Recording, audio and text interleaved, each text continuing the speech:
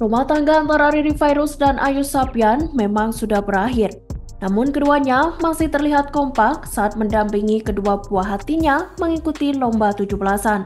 Baru-baru ini, kekompakan keduanya terlihat dalam satu momen yang dibagikan melalui unggahan di Instagram Riri Virus.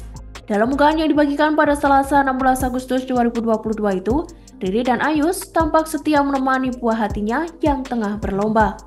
Beberapa perlombaan yang diikuti oleh kedua buah hatinya adalah lomba makan kerupuk dan balap kelereng. Kedua anak Riri Virus begitu bahagia lantaran ditemani oleh kedua orang tuanya selama menjalani perlombaan.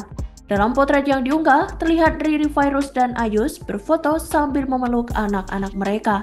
Tanya itu, Riri Virus juga terlihat sedikit bersandar di lengan kiri Ayus Sabian. Mereka juga tak segan memperlihatkan senyum semeringahnya ke arah kamera.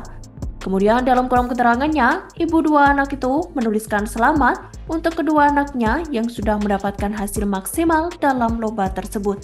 Benar saja, unggahan itu pun berhasil menjadi pusat perhatian warganet yang melihatnya.